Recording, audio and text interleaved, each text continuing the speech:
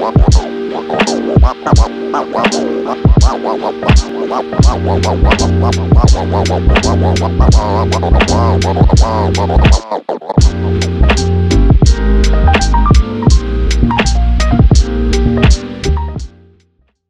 your host, Gregory Frye, and we are breaking format today with a very special guest, Adria Petty.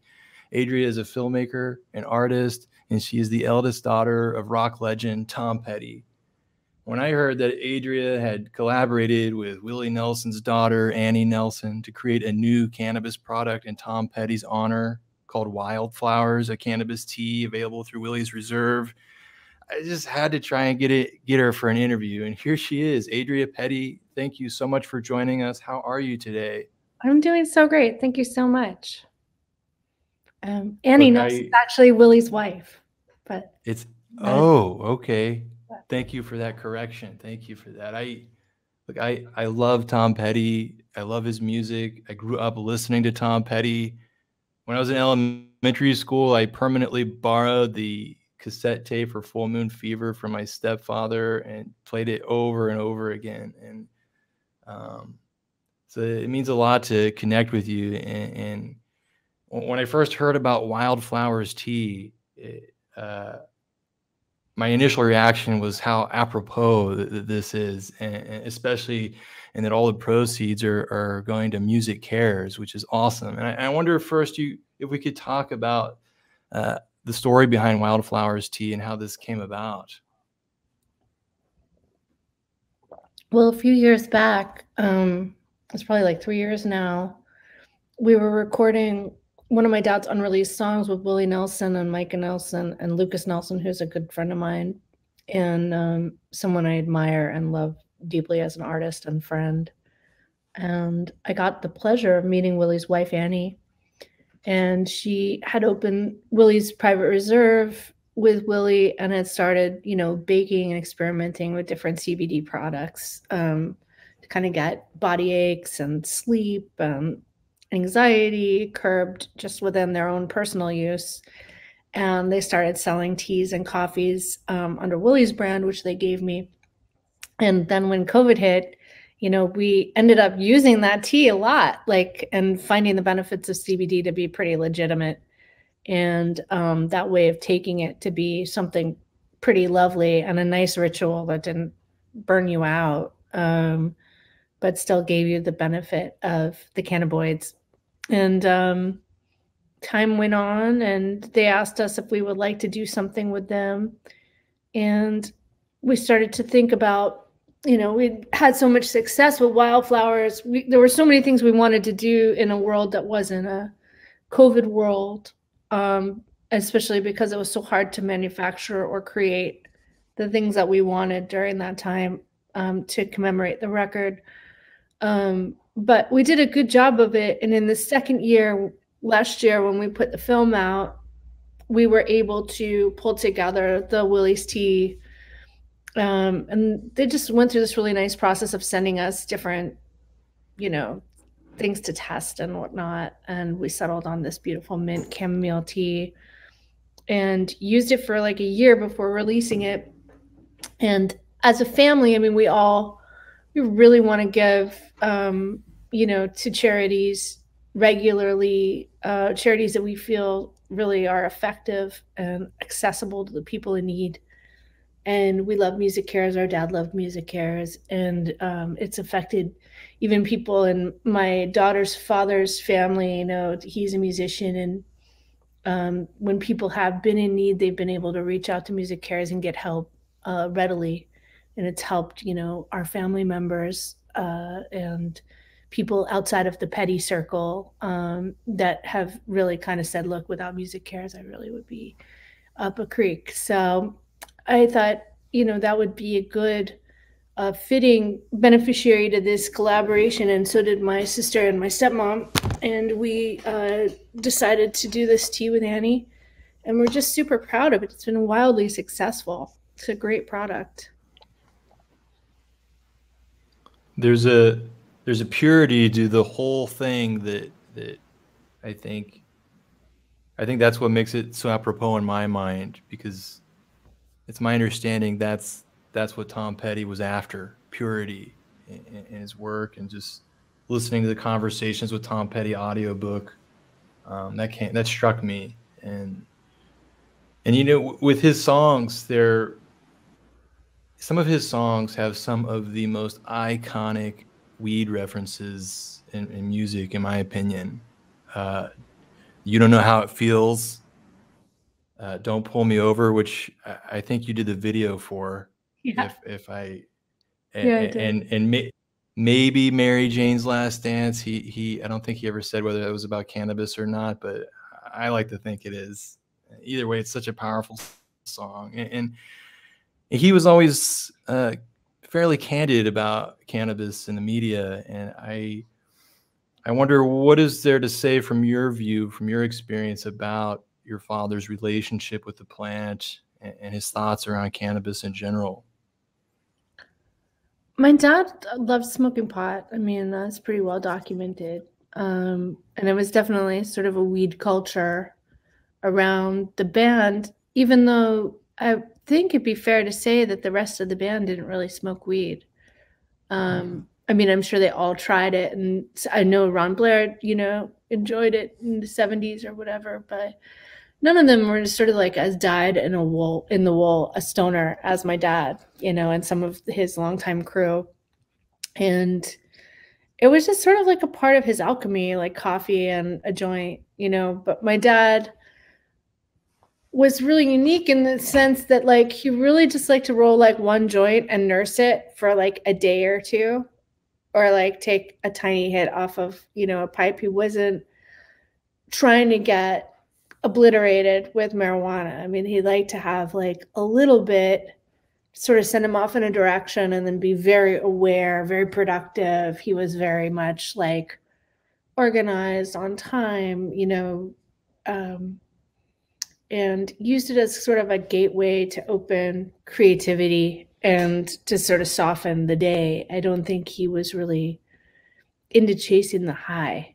Um, like mm. my dad never had like a bong or you know what I mean. Like yeah. he, he he had like this beautiful box with his weed, and he would roll a little joint, and he'd enjoy it um, over a period of time, or with friends. He loved to smoke pot with friends at you know Christmas or whatever. But um, you know, he was a really uh, fun person to get stoned with, and and very funny and um, very creative.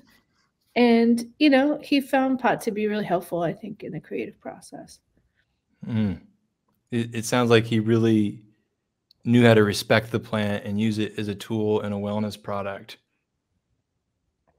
Inadvertently, yeah. I mean, the thing that's so so so challenging now for me is a lot of times people like associate my dad with drugs um, because he died of like a combination of uh, prescriptions uh, but he really didn't get into drugs drugs except for a short period of time in his life. He really just smoked pot. He didn't even drink really. So was when when he when he passed you know it was it was so sad, and, and it, to hear that prescription medication was a part of it, I, you had I had to wonder if if cannabis was still part of his life in the end or not, and if it would have helped or not. I think he was just completely. I mean, I think he did over a couple hundred shows and was just completely mm-hmm. in pain and yeah. probably not aware of his schedule or what he was doing or taking at that point. Yeah but it was definitely he, directed by some pretty serious pain. Hmm. Did, did he ever share any insights about whether or not um, to use cannabis before a, a performance? Um, I don't think he did use a lot of cannabis before performing. He like to be in good voice, and I mean, I I've seen him like smoke a joint at the end of a show or like towards the end of an hmm. encore or something he wasn't really i mean occasionally he'd be like smoking up there but i really didn't he really saved it for winding down and relaxing and yeah you know that sort of thing um i wonder if you if you have a, a cannabis story of your own that you'd like to share Gosh, I, I, mean, not anything in particular. I mean, I love cannabis. I think it's great for people um, have anxiety or who are creatives or not really um, into drinking or, you know, or looking for a way to kind of wind down but not be on sort of like a edgy, addictive, treacherous road with something. Um, I'm a believer that it, it helps people. Um, but my dad was really, I mean, like my dad never smoked pot with me until I was like 21. You know, I was really strict about using it as a controlled substance because it's not something I take lightly either. I think cannabis is just as powerful as alcohol and can be addictive, it can be destructive to your motivation. Um, but if you use it the right way, if you respect the plant, as you were saying, I think it can be a really helpful um, agent for creativity and for getting out of your own head and for dropping anxiety, um, at least for me. Yeah, great for uh, the flow state when you're focused on a creative project, at least certain phases of the project.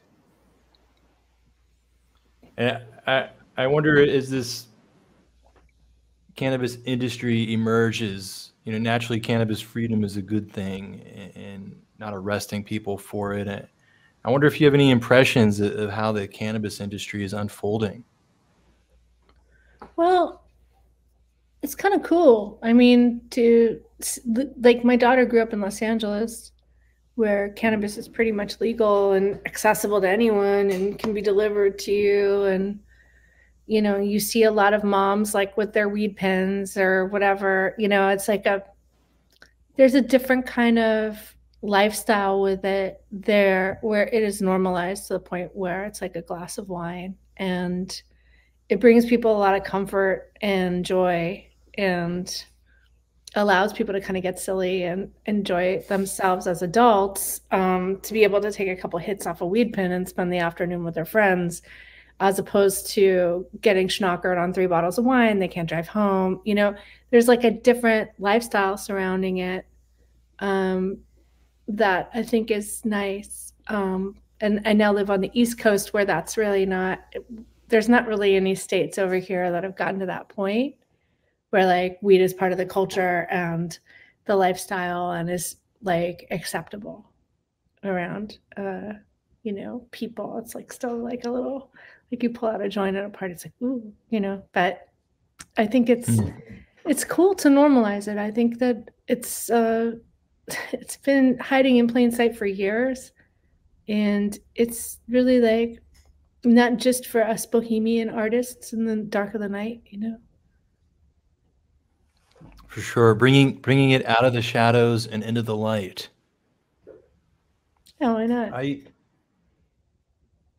the the now wildflowers tea. You know, it's named after what Tom Petty, I think, considered his masterpiece, the Wildflowers album. And you were part of a documentary project that came out about that last year. Documentaries on YouTube, by the way, awesome some documentary, and, and, you mentioned it earlier. And I wonder if you could talk a little bit about some of the archive work that you've been doing. Well, I mean, Wildflowers was my dad's last project that he did uh, before he went on what would be his final tour. So it was really important to him. He talked to the press a lot about it. He talked to us a lot about it. And um, you know, he had been working in his little sneaky laboratory where he made all the magic and had a double album finished, but he'd brought it back from the label to keep working on it because he wanted to add more stuff. And I think he had been very precious about, like, you know, his process, his demos, and he was really thinking about it as a, a short album that he could then tour with a lot of people um, in these premium theaters. And then when we had the responsibility of kind of going back and looking at everything, um, which was like unbelievable. It was like readers, it was like, wow, there's so much here. There's so much writing. There's so many demos. There's such an insight into his process. Like I never knew how he made these songs so great, or how he took them to the band, or how he worked with producers um, to this extent until we opened up that vault.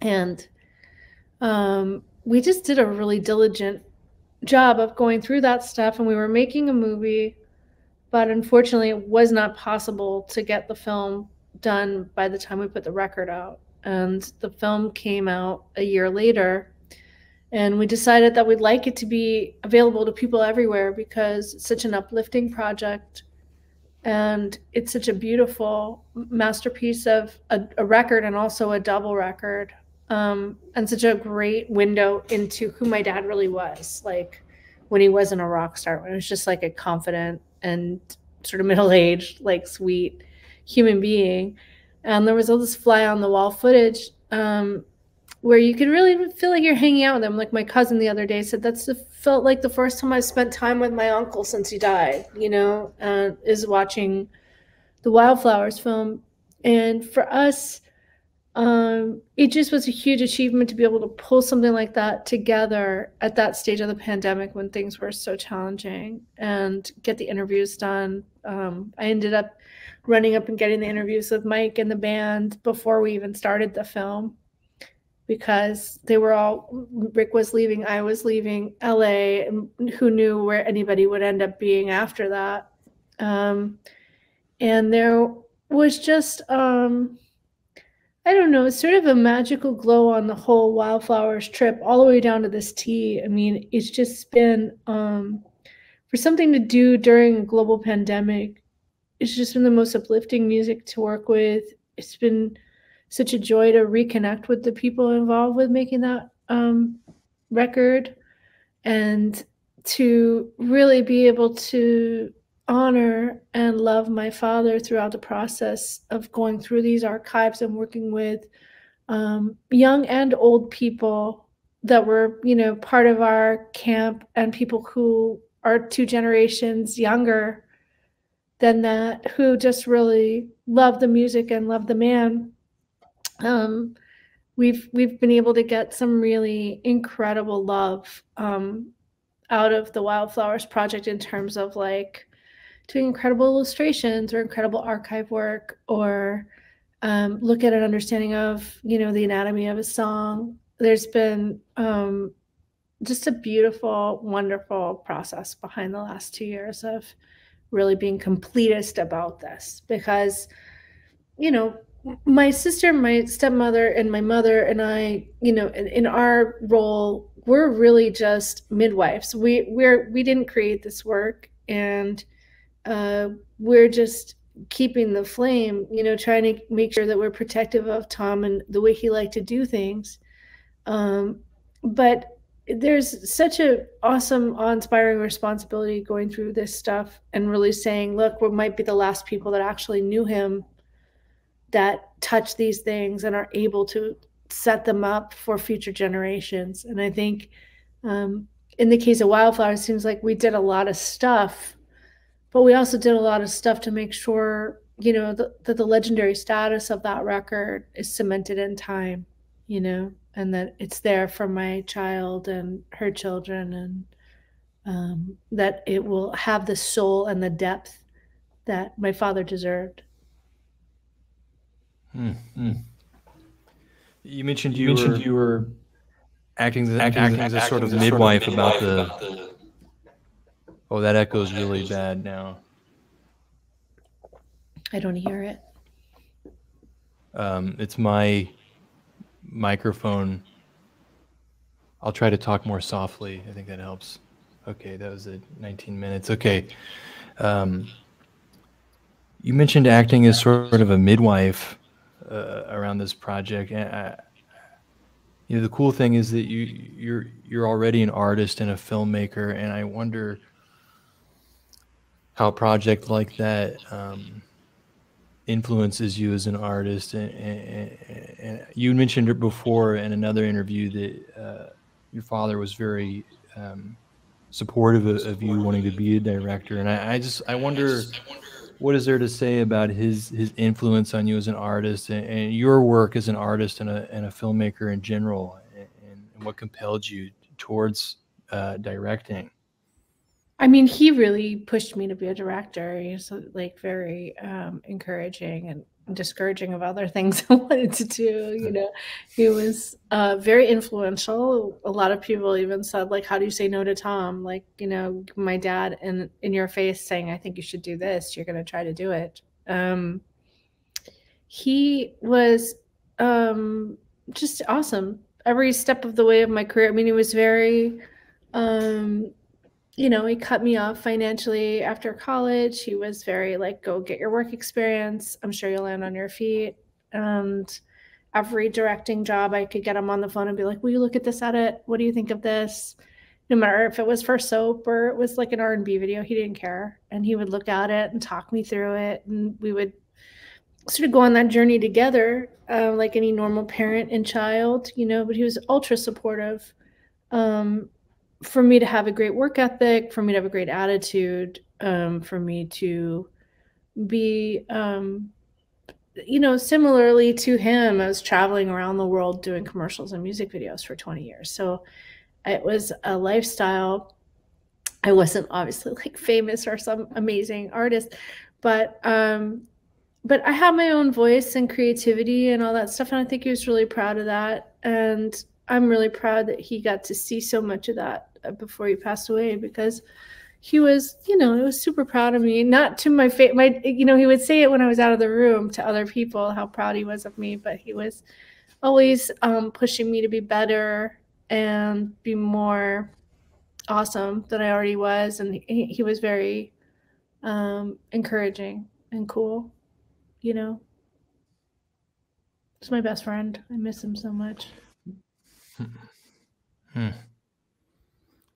You i wonder if you could talk a little bit about some of the big things you learned from your father. Any any big life lessons or, or values that that he he instilled within you? My dad um i mean a lot of his parenting was based on being cool or not cool. There was a lot of i think about that a lot now that I'm a parent, like, oh, that's not cool. Don't do that. You know, like a lot of people will let their kids be annoying and just say nothing or um and, and I'm not necessarily saying my parents' parenting school is my favorite. Um, but they were really I mean my parents had me when they're like 21 and 20.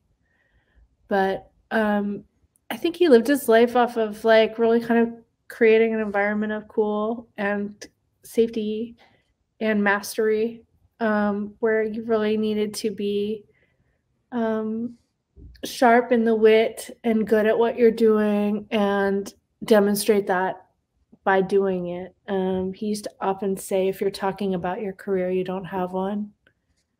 And I think that that is indicative of like when you're saying you want to be true or you want to be authentic, it's like he felt authenticity came through craft it came through reliability it came through decency it came through um, a pure channel and it was a channel that was like open to everyone. And um, you know that's what i learned from him and that's what i continue to try to practice in my life. I mean you know we um, would love to, i'd love to say we're normal folks but this has been an abnormal life and life experience you know to be tom's daughter it's been strange and um at the same time you know we really didn't like get dressed up and go to red carpet galas and stuff like that. he wasn't that guy and we spent most of our life in a pretty low key way like doing our work and doing it well and trying to treat people well and trying to put out something that i mean in terms of me as my own my own career like anything that i directed I fought to make sure that it was going to be good 20 years later, you know, while I was in the middle of that job. And, you know, the, the edit, the color, the costumes, the effects, the finishing, whatever, I would always look at it like I want this to stay, you know, stand the test of time and be a good piece for a long time.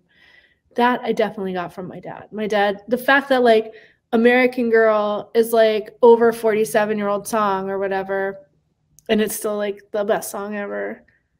That's that's like a testament to how my dad distilled all the things that he felt were like timelessly good about the music that he listened to and was influenced by you know? And i think um trying to do that with everything that you do and really aiming for that bar when you work um, it can be torturous but the way that you do it is because you're so facile with craft. Like you have practiced you have been at the grindstone a lot and you've thrown out a lot of ideas and you know when an idea is good you know? That's powerful. Thank you for sharing that. Adria this has been an awesome conversation and i wonder if there's anything else you'd like to add. Um, no, I'm good. Thank you. A, a, big thank you to our wonderful guest, Adria Petty. If you've made it this far, thank you so much for joining us. Be sure to check out Wildflowers Tea from Willie's Reserve if you live in the U.S. And feel free to give us a review, a like, or a share. And for more bluntness in your life, you can find us on social media or directly at the source, thebluntness.com.